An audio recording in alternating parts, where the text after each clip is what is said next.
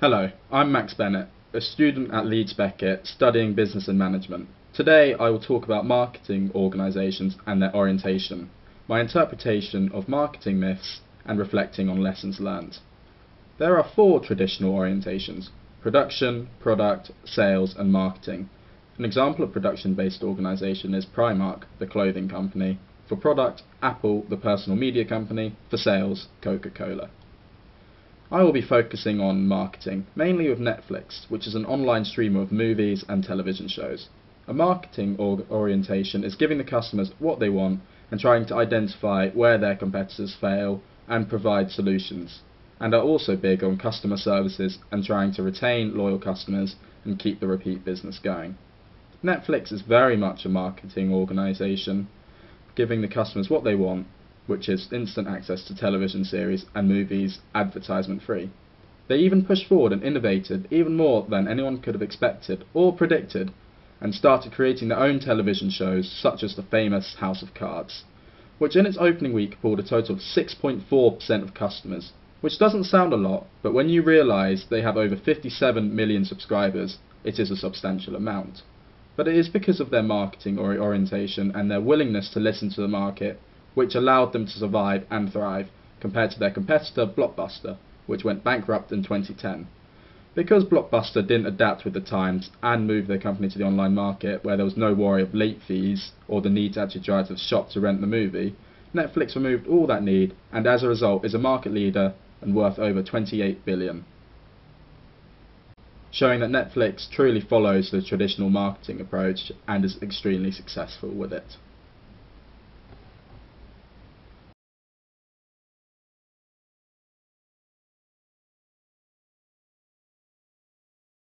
And now I will talk about marketing myths and my interpretations of the various myths. The first marketing myth is that a big name brand can sustain a higher price. For example, Virgin Atlantic. The airway company is one of the most well known airline companies in the world, and as a result, Virgin Atlantic can charge a higher premium for their goods compared to other companies, companies like Eva Air. For example, a return ticket to Brisbane, Australia with Virgin will cost you £6,164 for 8 days whereas with Eva Air it costs a paltry £1,336.26, if you are booking last minute that is, showing that it is possible for big brands to charge more and that they frequently do. On the other hand, a big name brand such as Tesco's cannot sustain a higher price because they are in a highly competitive market.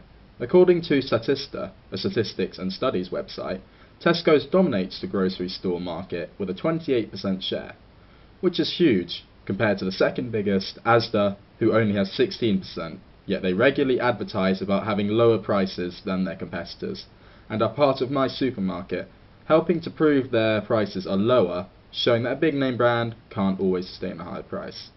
In conclusion, this marketing myth is true. A big brand can sustain a higher price because ultimately of convenience and fame, providing they are in the right market.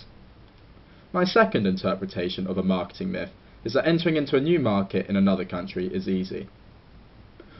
It is easy if you are already a well established company. For example, Coca Cola. Coca Cola entered into the Indian market on October 1993 and immediately gained a 60% share, but that is because they purchased Indian company Parle, who also sold soft drinks and snacks.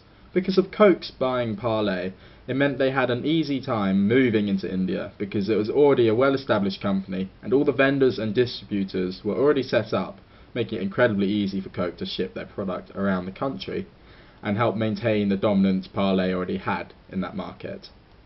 On the other hand, entering into a new market in another country isn't always easy, and companies face many issues, such as finding out the local language and any differing in dialects around the region, and also what their local customs and culture is. One such example is the American Dairy Association. In 1993, the sales of milk in America was falling dramatically and the current advertising campaign was failing. So they realized a now very famous campaign with the slogan, Got Milk. As, a, as well as joining with codependent foods such as cookies, which helped boost their sales, this campaign almost immediately revitalized the sales of milk in America. Such was the success, the ADA tried to move into Mexico, but almost immediately faced problems. And when the ADA investigated into why, they found out that the direct translation of got milk into Mexican Spanish was are you lactating? An error which cost them over $300,000. This costly mistake could have been easily avoided with the right research. In conclusion, moving into a new market is easy as long as the right preparations and research have taken place.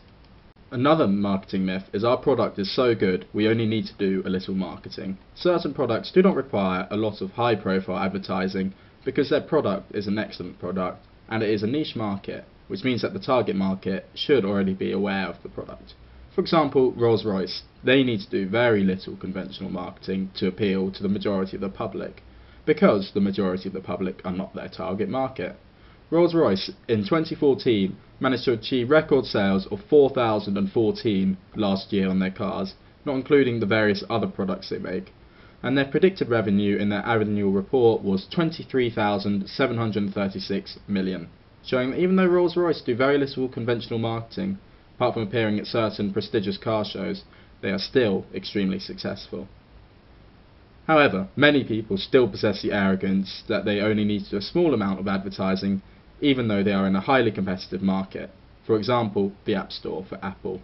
According to Statista, there are over 1.5 million apps on the market yet to be downloaded. And according to Tim Cook, CEO of Apple, over 60% of the apps haven't been downloaded. This means that over 600,000 apps have never been downloaded. If they did more marketing for their product, rather than expecting customers to trawl through 1.5 million apps to find theirs, then you can generate more sales. In conclusion, requiring no marketing because you have an excellent product is a major marketing myth that should be stamped out.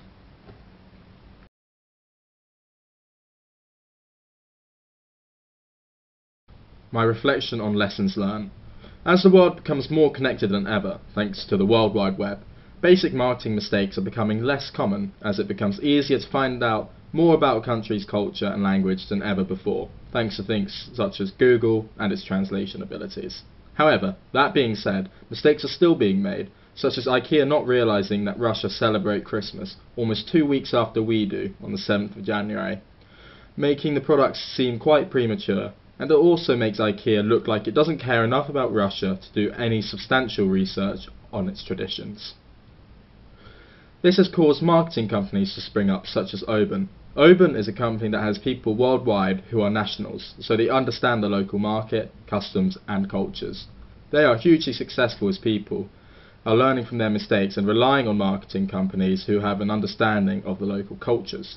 However, companies still make mistakes, as hiring a marketing company is a costly endeavour, and many companies want to save money and bite the bullet and enter a new market or niche without properly researching them first.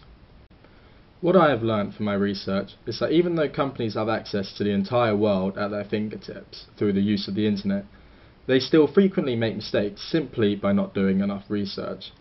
It is also incredibly hard to debunk a marketing myth because there are thousands of markets and what myth may apply to one market doesn't necessarily mean it will apply to another, meaning that a specific company will need to do plenty of research into their market to make sure they are making the right decisions. But then there are always companies that break the mold and give the customers what they didn't realize they wanted, which opens up a whole new market, which would make doing marketing research quite hard, especially if you're trying to keep your product secret from the competitors. With this creation of the new market, where the market leaders decide where to go and what trends to set.